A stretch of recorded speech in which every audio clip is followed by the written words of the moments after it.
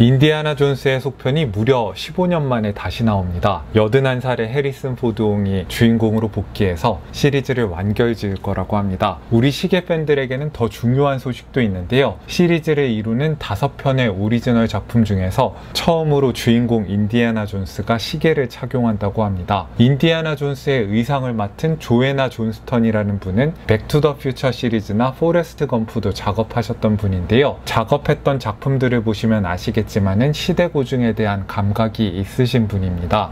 이번 영화에서 존스는 1969년 뉴욕의 헌터 대학교에서 정년 퇴임을 앞두고 있다는 설정입니다. 존스가 차게 될 해밀턴의 볼튼이라는 시계는 1941년에 처음 나와서 40년대, 50년대쯤에는 해밀턴에서 가장 인기 있었던 시계라고 하는데요. 따라서 존스처럼 60년대에 정년 퇴임할 교수님이 찰법한 시계라고 볼 수 있습니다. 해밀턴에서는 볼튼을 1980년대에 부활시켜서 꾸준히 명맥을 이어나가고 있었습니다. 사이즈는 조금 키워놓을 때도 있었지만은 독특한 케이스의 형태에서부터 세리프 글씨체로 된 인덱스의 모양에 이르기까지 원작의 디자인에는 거의 손을 대지 않았습니다. 이렇게 설정에 딱 맞는 시계가 이미 해밀턴의 현행 컬렉션에 존재한다는 걸 보고 존스턴 씨가 얼마나 반가워했을지 짐작이 갑니다. 원작과의 차이점은 수동 무브먼트가 아니라 쿼츠 무브먼트를 쓴다는 점, 14K 골드 케이스가 아니라 PVD 코팅된 스틸 케이스를 쓴다는 점 정도입니다. 과연 영화 속에서 얼마나 볼튼이 많이 등장하게 될지도 궁금하고 인터스텔라 때처럼 플롯상에서 역할이 있을지도 궁금합니다. 예고편의 한 장면에 장면에서 이미 존스가 볼튼을 차고 대화를 하고 있는 장면을 확인할 수 있었고요. 촬영 비하인드 장면에서도 인디아나 존스가 볼튼을 차고 말을 타는 장면이 있었습니다. 따라서 최소한 주요 액션 장면 중 하나에서도 이 시계가 등장한다고 짐작해 볼 수 있겠습니다. 그러나 우리가 기대하는 건 이 이상이죠. 고가 시계가 아니라 합리적인 가격대에서 자기만의 스토리텔링과 오리지널한 디자인 언어가 있는 사각 드레스 시계를 찾는 분들께 인디 인디아나 존스 시계의 출현은 반가운 소식일 텐데요. 지금부터 볼튼이 어떤 시계인지 자세히 살펴보겠습니다.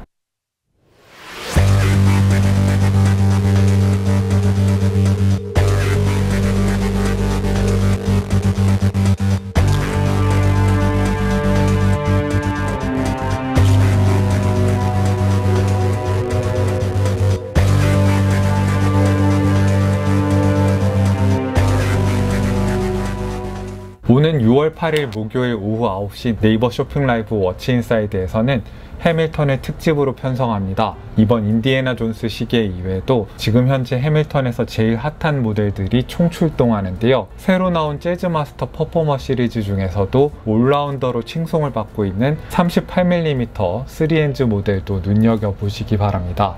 100m 방수의 screw-down crown을 장착하고 있어서 물과 관련된 모든 활동을 하실 수 있고 유리까지 포함해도 11.5mm로 두께가 얇다는 게 특징입니다. 자 그러면은 볼튼으로 돌아가서 그동안 소개해드렸던 사각시계들이 남자용일 때 생각보다 사이즈가 큰 경우가 많았는데요. 이 시계는 반대로 빈티지 시계처럼 좀 작은 체감을 갖고 있습니다. 그래서 아마도 60년대가 배경인 영화에서 채택된 것으로 보이는데요. 케이스 형태의 부드러운 커브가 많이 사용되어서 더 빈티지 시계 같이 느껴지는 시계라고 할 수 있습니다. 남자분과 여성분이 같이 찰 수 있는 시계로도 추천할 수 있을 사이즈입니다. 케이스 가로 길이가 27.3mm에 세로 길이는 31.6mm이고요. lug to lug의 길이는 41.3mm입니다. 두께도 8mm로 아주 얇고요. 스트랩을 포함해도 30.7g으로 초경량입니다. lug 폭은 18mm에 버클부의 사이즈는 16mm입니다. 방수 성능은 30m로 뭐 드레스 시계니까 크게 기대하긴 힘들고요. 아담하고 얇고 가벼운데 케이스 전체가 손목을 감싸는 곡선형이라서 극강의 착용감을 자랑합니다. 케이스의 형태는 1940년대풍 시계답게 아르데 아르데코 양식을 따르고 있으면서도 같은 시기로부터 영감을 받은 시중의 그 어떤 사각시계와도 다릅니다. 옆에서 봐도 앞으로 배를 내밀고 있는 형태고요. 위에서 봐도 옆으로 배를 내밀고 있는 것 같이 생겼습니다. 사이드에 크게 빗면을 만들어서 빛을 받았을 때 좀 더 아름답게 반짝거리도록 만들었다는 게 특징적인 케이스이기도 합니다.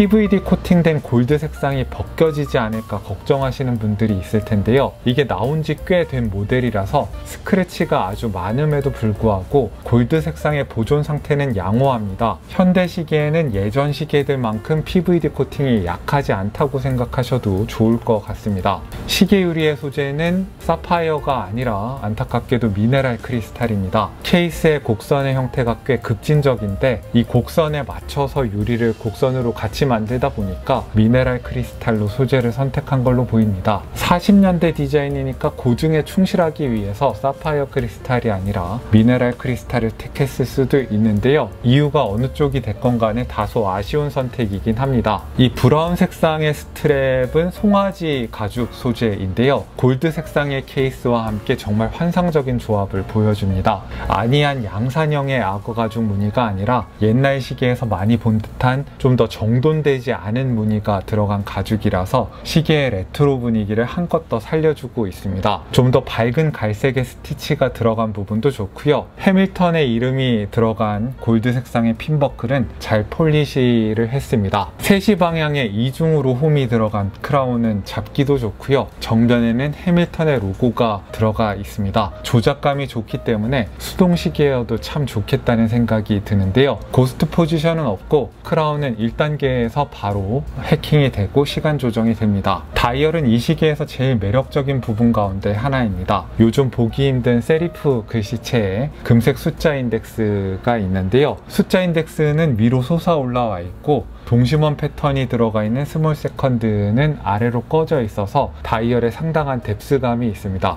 거기다가 유리가 약간 곡선이 져 있고 다이얼도 약간 곡선이 져 있으니까 다이얼의 depth감이 상당합니다. 어, 철도 스타일의 chapter ring은 레트로풍의 시계 느낌을 강화해주고 있고요. 해밀턴의 로고도 그때 그 시절 그대로이기 때문에 다이얼이 굉장히 예스럽습니다.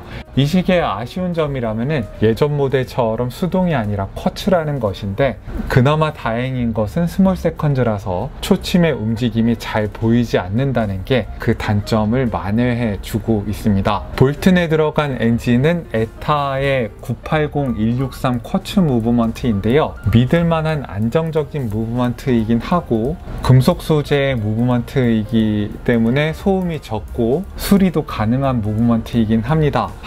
볼튼처럼 이렇게 얇은 사각시계에 들어간 무브먼트는 크기도 작고 얇기 때문에 배터리도 용량이 작은 게 들어갑니다. 배터리를 자주 교체해줘야 한다는 다소 불편한 점이 있습니다. 교체 주기는 2년에서 3년 사이를 보시면 됩니다. 케이스 뒷면을 보시면 독특한 케이스 형태에다가 스냅백이어서 숙련되지 않으면 집에서 배터리를 교체하기에도 좀 불편하다고 보셔야 되겠습니다.